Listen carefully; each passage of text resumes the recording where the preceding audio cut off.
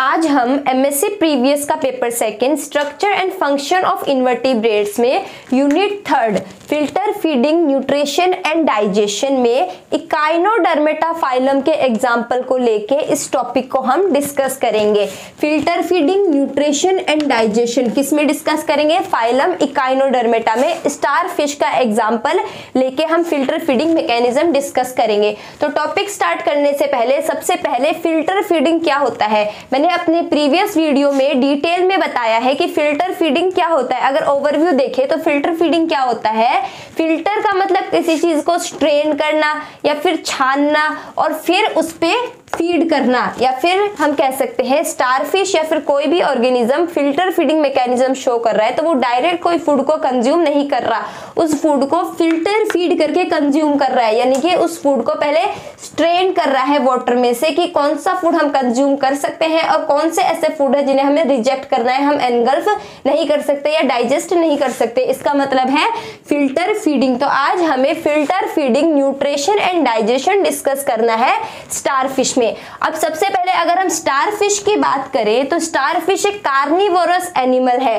यानी कि ये एक मांसाहारी जीव है, जो किसको कंज्यूम करता है? क्लैम्स को। वाटर में क्लैम्स प्रेजेंट है। उनको स्नेल्स को क्रैब्स यानी केकड़े और स्मॉल फिशेस को स्टारफिश कंज्यूम करता है।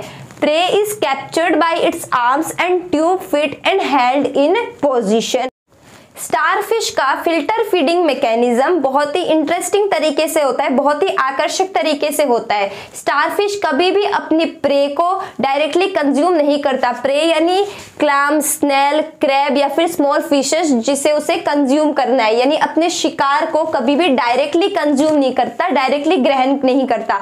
सबसे पहले स्टारफिश अपने शिकार को अपने माउथ के पास लेके आता है। अब स्टारफिश का माउथ कहाँ प्रेजेंट है? बॉडी के सेंटर पे। मान लो ये स्टारफिश है और ये इसकी पाँच भुजाएँ हैं तो ये स्टारफिश की बॉडी है बॉडी के सेंटर पे यहाँ पे माउथ प्रेजेंट है। तो स्टारफिश क्या करता है, अपने प्रे को माउथ के पास लेके आते हैं। मान लो ये क्लैम है क्लैम यानी कोई भी प्रे कोई भी शिकार जिसे स्टारफिश कंज्यूम करेगा तो अपने प्रे को कहा लेके आता है, अपने माउथ के सेंटर में लेके आता है। स्टारफिश क्या करता है, अपने माउथ सेंटर बॉडी के सेंटर पे माउथ प्रेजेंट है और प्रे को उस माउथ के पास ले लेके आता है। फिर बॉडी में वो डायरेक्ट कंज्यूम नहीं कर सकता उस माउथ के थ्रू तो वो क्या करेगा? स्टमक अपना स्टमक बाहर निकालेगा। स्टमक का भी कौन सा पार्ट कार्डियक स्टमक ये एक इंटरेस्टिंग तरीका है स्टारफिश का प्रे को कंज्यूम करने के लिए कि स्टारफिश अपने स्टमक को भी अंदर बाहर कर सकता है प्रे को कंज्यूम करने के लिए।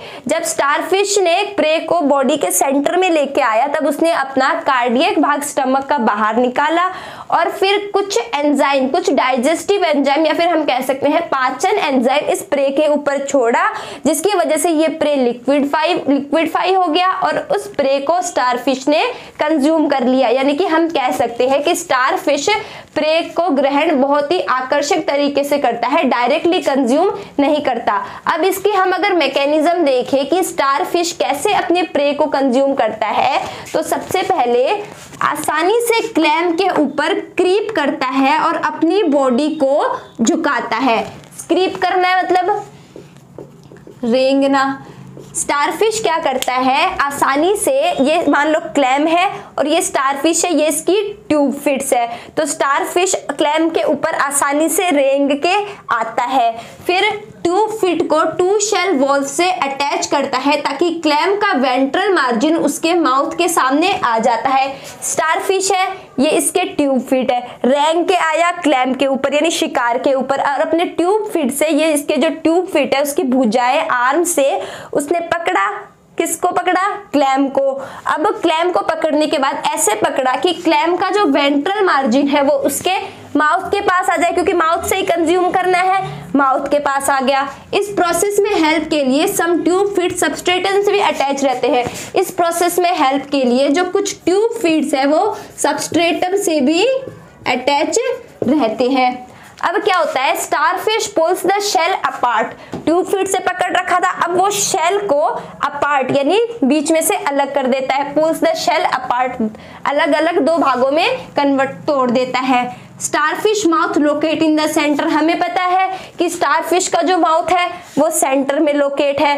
तो क्लैम को डायरेक्टली नहीं खा सकता, पहले माउथ के पास लेके आएगा। अब सो टू कंज्यूम प्रे, अब प्रे को कंज्यूम करने के लिए starfish cardiac stomach is turn out and surround the prey. Mouth mouth के थ्रू स्टारफिश का जो स्टमक है, स्टमक का भी कौन सा part? Cardiac stomach. Cardiac stomach बाहर आएगा माउथ से और इस प्रे को सराउंड कर लेगा। फिर enzyme is secreted by pyloric caecum फिर पाइलोरिक केकम द्वारा एंजाइम सिक्रीट किए जाएँगे, जो रिलीज़ होगा प्रे के ऊपर। इस प्रे के ऊपर रिलीज़ किया जाएगा by which digestion process start फिर डाइजेशन प्रोसेस स्टार्ट होगी। यानी कि सबसे पहले स्टार फ़िश अपने प्रे के ऊपर रेंगता हुआ आएगा। फिर अपने ट्यूब फिट की हेल्प से प्रे को पकड़ लेगा। फिर उसके शेल्स को अपार्ट कर देगा। कार्डियक स्टमक बाहर निकालेगा, जो प्रे को चारों तरफ़ से घेर लेगा।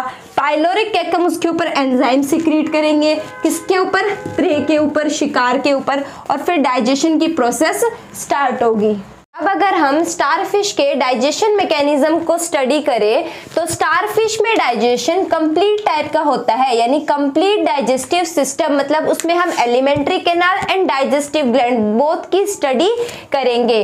स्टारफिश में डाइजेशन कंप्लीट टाइप का होता है। स्टारफिश में माउथ ओरल सरफेस पे प्रेजेंट है और एनस एबोरल पार्ट में प्रेजेंट है। पाइलोरिक केके और कार्डियक स्टमक एंजाइम सिक्रिएट करेंगे, जो फ़ूड को डाइजेस्ट करने की हेल्प करेंगे, जिसके थ्रू हम डाइजेशन की स्टडी करेंगे। तो सबसे पहले बात स्टारफिश में डाइजेशन कंप्लीट टाइप का होता है। Alimentary canal and digestive gland completely present होते हैं। माउथ ओरल सरफेस पे और एनस एबोरल पार्ट पे प्रेजेंट है। अब सबसे पहले हम एलिमेंट्री कैनाल की बात करें तो एलिमेंट्री कैनाल ट्यूबुलर है। ट्यूब क्या करती की है?